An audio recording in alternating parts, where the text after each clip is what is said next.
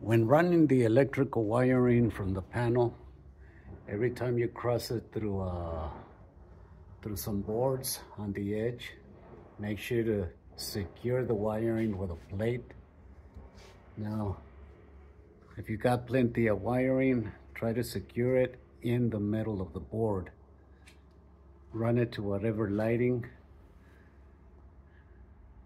And as you can see, we keep a certain distance by keeping the wiring right in the middle of the board. This will protect it from any nails hitting it and causing an electrical short.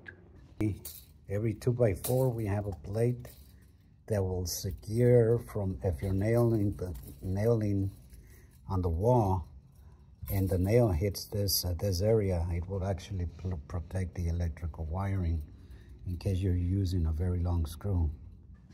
So you do that in every section where the wiring runs through. This will prevent any uh, future accidents. Now, if you pay attention on this particular line, on it, the uh, on top of it, on that board, we also have those plates that will protect that section from any nails. When installing outlet boxes, make, make sure that you measure from the ground to the beginning of your electrical box exactly at 16 inches from the bottom section.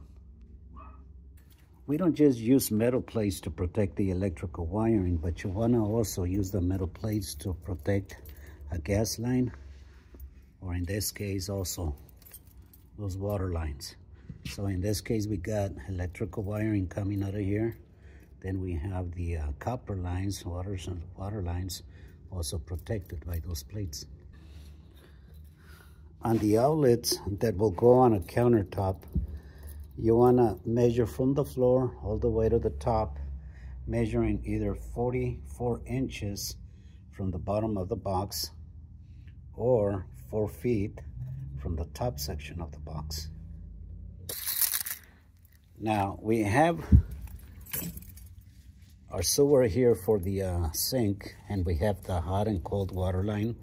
And right next to it we have an outlet box.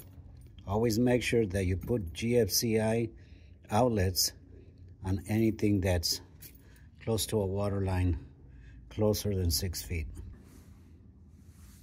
On and off switches or switch uh, switch boxes to turn on lighting uh, also 42 inches from the bottom section of the box.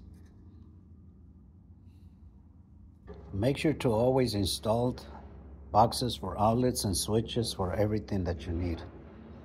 Now, if you're trying to install the three-way switches for lighting, uh, make sure you refer to that uh, specific video and uh, get instructions on the wiring on three-way switches. That's all for today.